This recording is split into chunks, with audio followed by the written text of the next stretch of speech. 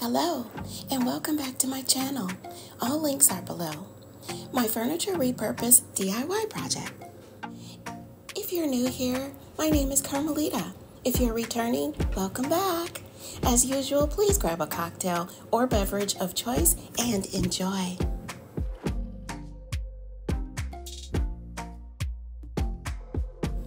Repurposing furniture involves taking existing furniture and giving it a new function or updating its look to fit different aesthetics or needs. This practice is important for several reasons. Sustainability. It reduces waste by extending the life of furniture, decreasing the need to produce new pieces, and thus saving resources and reducing environmental impact. I purchased AeroGarden indoor garden wall shelves and they are made of bamboo. I used to do a lot of indoor gardening, uh, growing vegetables inside my home, and that's why I had these uh, shelves. I've had them for about five years now. I paid $72 each. I love the casual ladder bookcase style as it is simple and attractive bookshelf uh, that adds a delightful point of interest to a room while displaying books and other decorative items. So when I stopped growing the plants, I decided to keep the shelves. For my DIY project, I decided to use chalk paint uh, because it is favored for painting wood furniture due to its unique properties. Here's how it works best. Adhesion. Chalk paint adheres well to most surfaces without the need for sanding or priming, making it easy to apply directly to wood furniture. Coverage. It typically covers well, often requiring fewer coats than regular paint. Finish. It dries to a matte chalky finish that can be left as is or finished with wax or sealant for a more polished look or increased durability. Application. Brushes or rollers work for application, and brush marks often add to the rustic hand-painted charm. For best results, ensure the furniture is clean and make any necessary repairs. After painting, sealing with wax or a clear coat will protect the finish. Repurposing furniture is a blend of art, sustainability, and practicality that contributes positively to both individual and environmental well-being. Before deciding to DIY and repurpose, I did have several other shelves that I looked at, and I will show you those. Again, my original shelving here, these are made of bamboo. But first, another reason to repurpose is for personalization. It allows for creativity and personal expression as individuals can create one-of-a-kind pieces that reflect their personal style. Also, economic benefit. It can provide economic opportunities through the creation of small businesses focused on refurbishing and upcycling. Here's the final result. I only had to use one coat of paint and they came out beautifully. Okay, the first shelf that I thought about purchasing is a casual home shelf, five shelf ladder bookcase in white. I know, I know you guys are probably thinking this looks exactly like what you already have. The only difference is that there are more shelves, and this is solid pine. This shelf is six feet in height Enclosed ideal storage space for tall displays, perfect for books, collectibles, and more.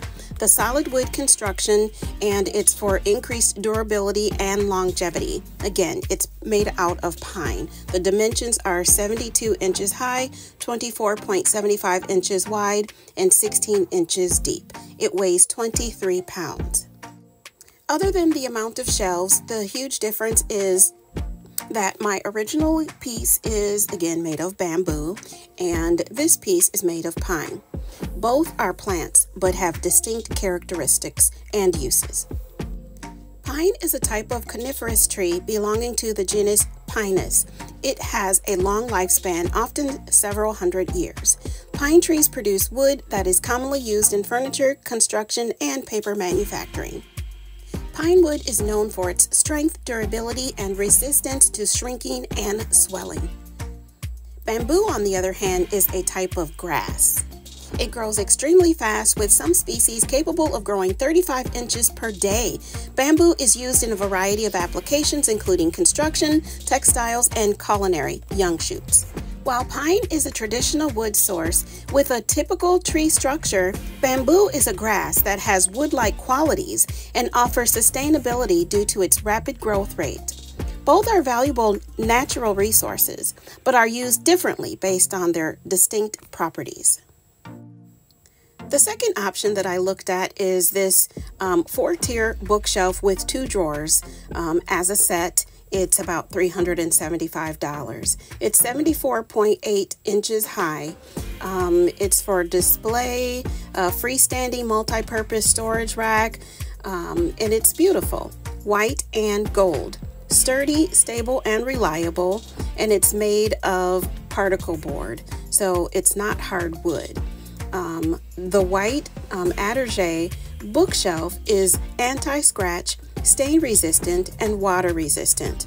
Four black leg pads are uh, designed to help this white and gold multiple bookcase stand stably on uneven floor and protect floor from scratching. I will say that my original um, shelf is very unstable. You can see it in the video.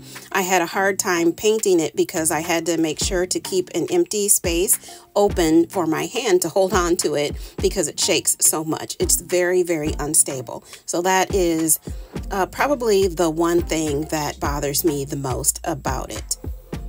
As long as it's sitting in one space, my original shelf is fine. But again, as you can see in the video, it shakes when it's moved. Um, I don't have um, a problem, again, with things falling off of it. Um, it's very stable in that regard. Uh, if I um, uh, put a stabilizer against the wall, you'd probably be able to see it, so I don't want to do that. Um, but yes, it is uh, very wobbly.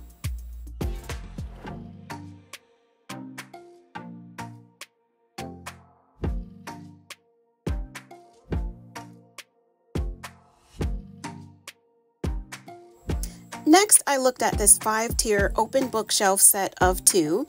Uh, it is wood particle board um, with a metal frame. Again, it's not real wood, it's particle board.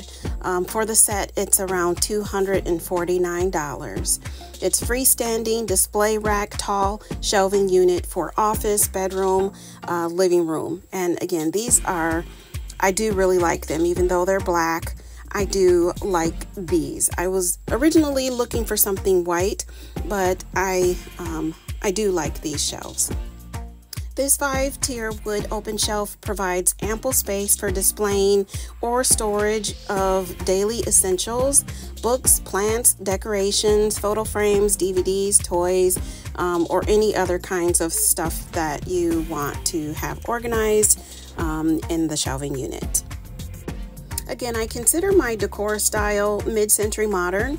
A mid-century modern style is known for its sleek, clean lines and a mix of organic and geometric forms. Both wood and metal can complement these aesthetics, uh, but they do so in different ways. Wood is often associated with mid-century modern furniture because of its warmth and natural grain, which adds an organic element to the design. Teak, walnut, oak, and rosewood are commonly used in mid-century modern pieces and work well to enhance the style's connection to nature and craftsmanship. Metal, on the other hand, brings in the industrial and sleek aspect of mid-century modern design. Chrome, brushed steel, and brass are metals that are commonly used during the mid-century period, often seen in furniture legs, frames, and hardware. These materials add a touch of shine and a more modern, sometimes futuristic feel to the pieces. And for my final um, option is this white and gold arched bookshelf five-tier bookcase. Gold shelves for living room, freestanding tall display shelf, decorative shelf for a bedroom also. And they range around $129 each. The minimalistic arch design, elegant white shelves, and gold metal frame create a modern and luxurious bookshelf that seamlessly blends into any room. It can easily match most modern furniture and decorations, making it perfect for the bedroom, living room, home office, and more. I do like this shelf. Um, the arched uh, design, you can see it has a little bit more detail on it, kind of making it look like a sunburst, and I don't particularly like that style. Um, so that is one issue. The other issue I have with this is that it's metal, and I'm just not certain that I want to add more metal as opposed to wood in the space. Ultimately, the choice between wood and metal in mid-century modern design depends on the specific context and the desired balance between warmth and industrial chic. Often, a combination of both materials is used to achieve a harmonious blend of both comfort and that mid-century modern feel. My final decision also played a role in the, excuse me, particle board versus the bamboo. Particle board is an economical manufactured wood product that's less durable and eco-friendly than bamboo, which is a natural, stronger, and more sustainable option. So bamboo it is. For now, even though the others are beautiful, I think I'm going to stick with my bamboo piece. And now that I've painted it the white, I think it looks awesome in the space. The final touch. Now, I think I need to fill my uh, reed diffusers up before I finish out this morning's tasks. You can find links below in the description box for everything. Reed diffusers, they're made of natural rattan. Rattan is the most widely used material for reed diffuser sticks because it is known to hold down or absorb the fragrance of any essential oil very well. One of my favorite home scents is the Coco d'Or Reed Diffuser um, dispenser and uh, oil in the fragrance Refreshing Air. Refreshing Air is a citrusy note of mandarin with a soft, bright, and cheerful vibrance that is added, accompanied by a clean note of cotton, leaving a pleasantly refreshing mood. The combination of the mandarin and cotton Mandarin and cotton fragrances would offer a unique blend of invigorating and clean scents. The bright, energizing aroma of mandarin would lift the spirits, while the comforting scent of cotton will likely ground the fragrance, resulting in a balanced and pleasing aroma that feels both lively and soothing. The structure of rattan includes channels that run the length of the reed, which allows the essential oils to travel up the reed stick and disperse into the air. This makes it an effective material for diffusing scents throughout a room. Additionally, rattan is a natural and porous material which aids in the absorption and volatilization of the oils, ensuring a consistent fragrance distribution. It's also sturdy and attractive, which adds to the aesthetic appeal of the diffuser setup. If you use reed diffusers in your home, please let me know in the comments down below and let me know what your favorite scent is. Optimize fragrance, it's best to flip your reed diffuser sticks once every week. Aren't these beautiful? I just love the whimsy, the floral. They're just gorgeous. Okay, let's put them back in their spot.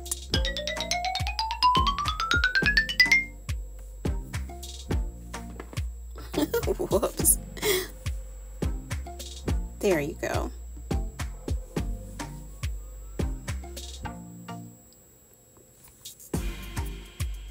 I have a lot of plans for this little area. I know it's a little crowded right now, but there's soon going to be some huge changes I think you all will enjoy. Okay, let's put the new one up on our newly painted and dried shelving units. Okay, I think that's about it. Thank you so much for tuning into my channel. Thank you for watching today's video. Your support means the world to me. If you enjoyed what you saw, don't forget to give it a thumbs up and consider subscribing for more exciting content in the future. I appreciate each and every one of you. Until next time, bye bye.